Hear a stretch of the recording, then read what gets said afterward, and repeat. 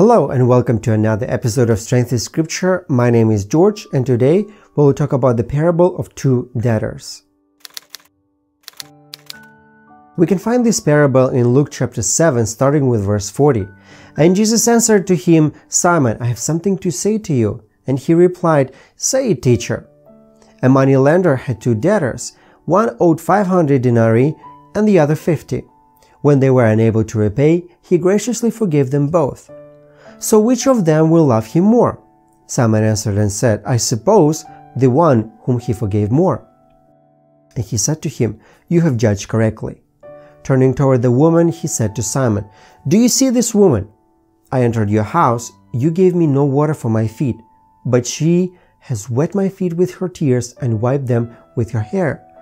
You gave me no kiss, but she, since the time I came in, has not ceased to kiss my feet. You did not anoint my head with oil, but she anointed my feet with perfume.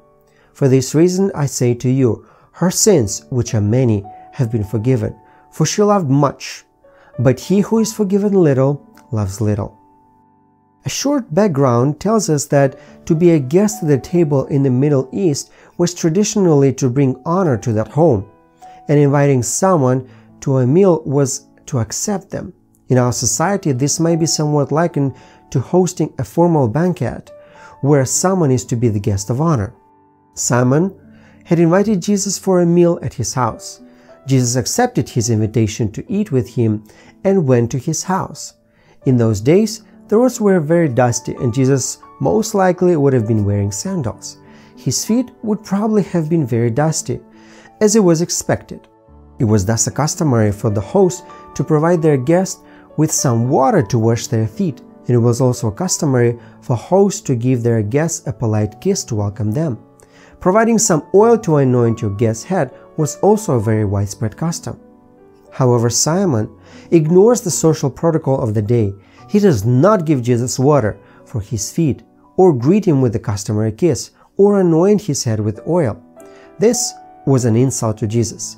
Yet the sinful woman came and honored Jesus, in contrast to Simon's lack of honor. She has washed his feet with tears, dried them with her hair, and anointed them with ointment. As we look closely at the parable itself, there are a few key aspects.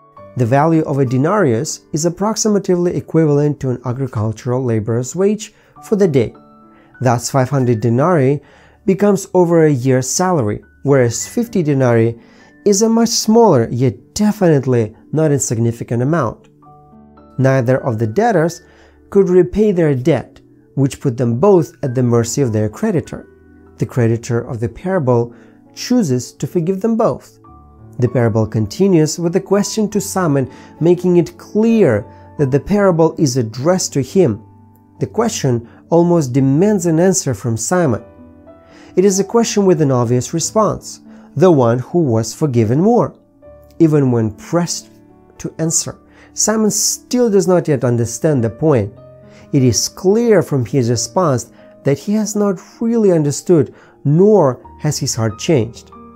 The message of this parable to Simon seems to be Jesus' words in verse 47 Her sins, which are many, have been forgiven, but he who is forgiven little loves little. Simon was in the position of having been forgiven little, and the message that he also loved little must have had been sobering to him.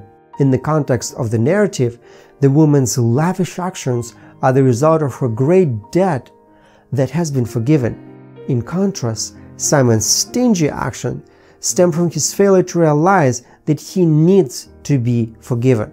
To apply this parable to our lives, we must also see the incredible forgiveness of God.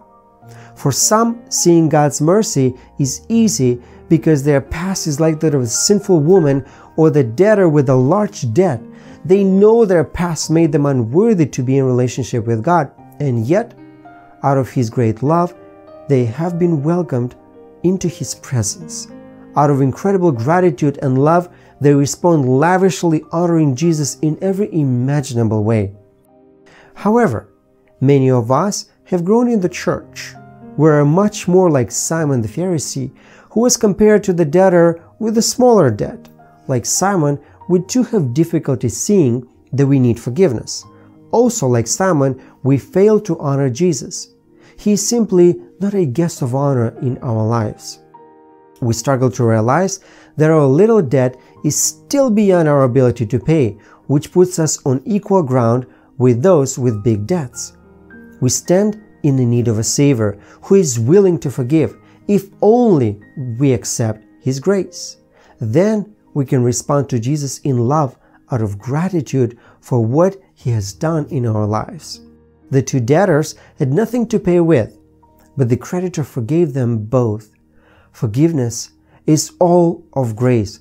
There is nothing the two debtors did to deserve the pardon. The two debtors could only beg for forgiveness. There is nothing we as sinners could do to merit God's forgiveness. Some people try to earn their salvation by penance or some other means, but we need to realize that we can't earn salvation. God only wants us to repent, and if we do, He will forgive us.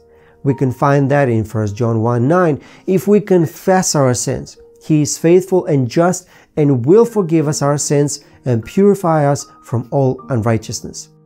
That doesn't mean that forgiveness costs nothing. On the contrary, it costs God everything.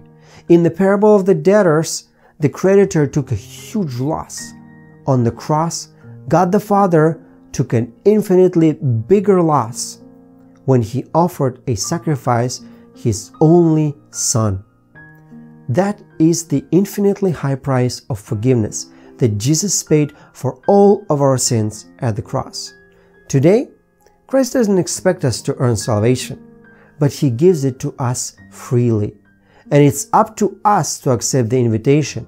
And as we do, we will grow in grace and be strengthened in Him by studying the Scripture.